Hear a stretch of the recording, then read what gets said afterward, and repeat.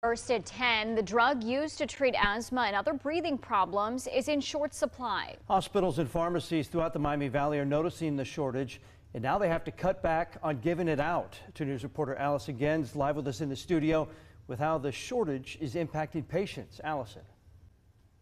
John Brook, pharmacies and hospitals have been dealing with the albuterol shortage for months now after the company that makes it filed for bankruptcy and shut down production. And some medical experts are predicting this shortage could go on a lot longer.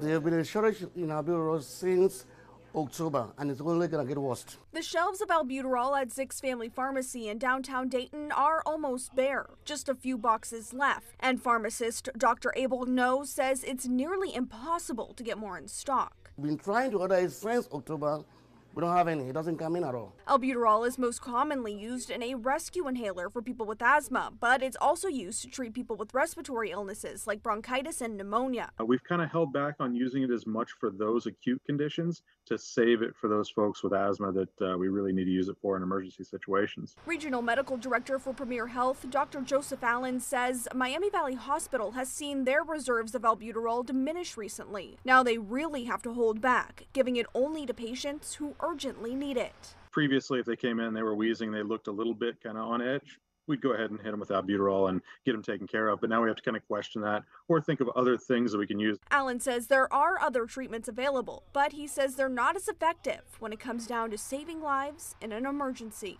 They're not great in a rescue type. So if you really, if you're having trouble and you don't have albuterol or access to it, you really need to find that, uh, get to that emergency department or urgent care somewhere to get treated.